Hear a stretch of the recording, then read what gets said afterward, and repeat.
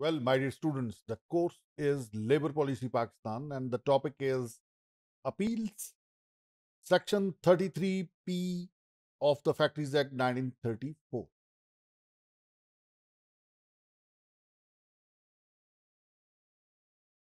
Thirty three P और heading है appeals subsection one the manager of a factory On whom an order in writing by an, an inspector has been served. Appeals जो हैं वो किसी जो original jurisdiction जिसकी है अगर उसने कोई पावर्स एक्सरसाइज की हैं कोई ऑर्डर दिया है उसके अगेंस्ट किसी बड़ी अथॉरिटी को करने का नाम तो यहाँ पर जो ओरिजिनल ज्यूरिस्डिक्शन है वो तो किसी इंस्पेक्टर की बताई जा रही है। और अगर इंस्पेक्टर को कोई ऑर्डर है जो किस पर सर्व हुआ है, मैनेजर पर, जो कि फैक्ट्री का है, या कोई ऑक्यूपायर ऑफ़ द फैक्ट्री है, उस पर है तो फिर अपील किसको होनी है? वो प्रोविंशियल गवर्नमेंट को होनी है, या अगर कोई प्रोविंशियल गवर्नमेंट ने अथॉरिटी इस जिमन में अपॉइंट की गई है तो उसको अपील होगी। ऑर्डर, आप समझते हैं कि वो ठीक नहीं है और इसको अमेंड होना चाहिए या बेहतर होना चाहिए या एनल होना चाहिए या एक्सटिंक्ट होना चाहिए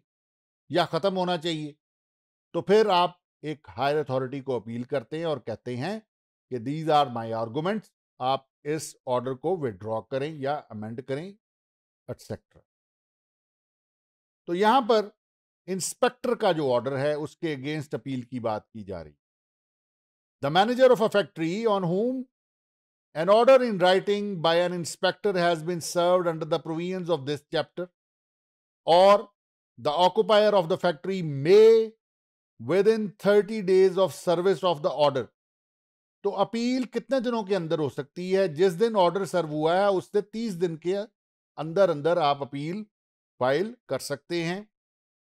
और किसके पास अपील फ़ाइल करनी है टू द प्रोविंशियल गवर्नमेंट और to such authority as the provincial government may appoint in this behalf,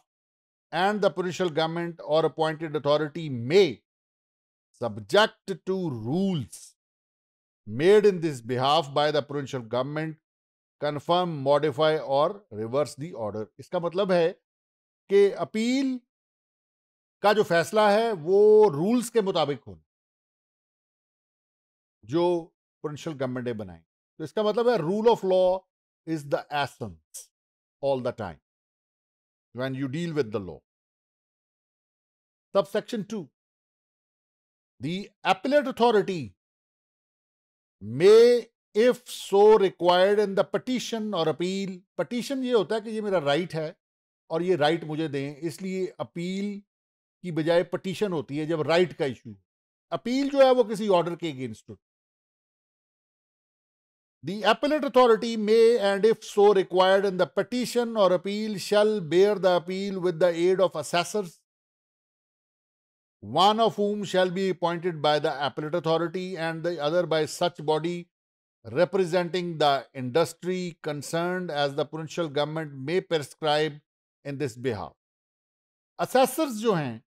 वो इस जिमन में appellate authority को assist करेंगे और देखेंगे कि क्या फैसला ठीक था या नहीं था।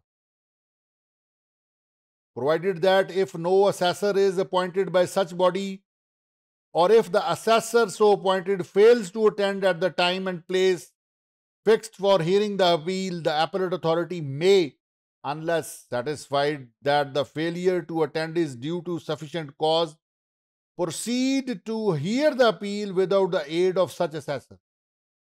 तो असेसर के बगैर भी वो अपील को सुन सकते हैं। और if it thinks fit without the aid of any assessor.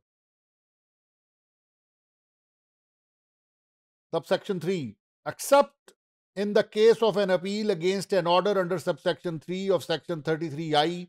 और sub section two of section thirty three M. The appellate authority may suspend the order. तो अगर एपिलेट अथॉरिटी सेटिस्फाइड है तो ऑर्डर को सस्पेंड कर सकती है, या कह सकती है कि ये सस्पेंडेड है, लेकिन ये जो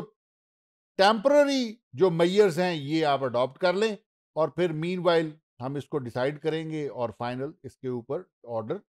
या डिसीज़न जो है, वो देंगे। You are studying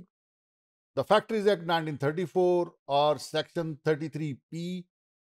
of the factories act आपको पढ़ाया जा रहा है। Hope you have understood it thank you very much indeed